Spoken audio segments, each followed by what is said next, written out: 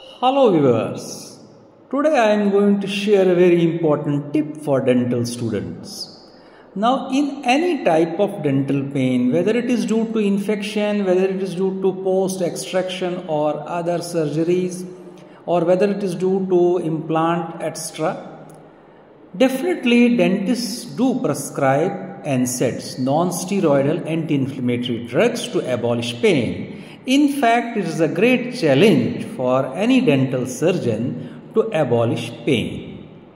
Naturally, we have orthodontic treatment where braces etc. are applied. Pain is definitely caused or it might be caused during that treatment.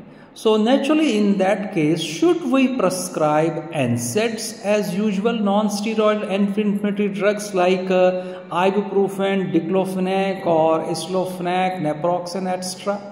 The answer is no. We should avoid these NSAIDs in orthodontic treatment. Now the question is NSAIDs what they do? They have a mechanism of action. They block the synthesis of prostaglandins. Prostaglandins are chemical mediators involved in pain and inflammation. But in orthodontic treatment, we need prostaglandins. We actually require them badly.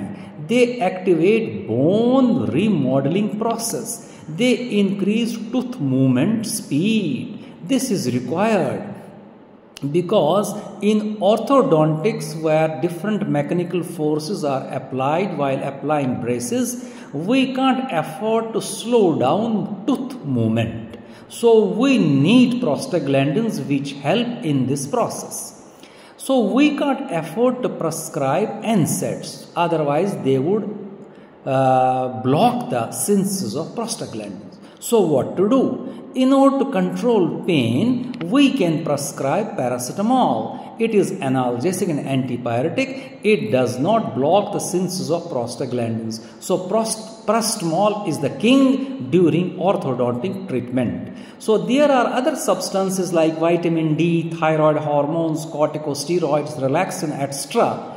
They do increase the level of prostaglandins and there are drugs like NSAIDs, fluorides, estrogen, calcitonin, biphosphonates, they reduce the biosynthesis of prostaglandins, so they are not friendly in orthodontic to treatment. Till then, keep the faith. Thanks for watching.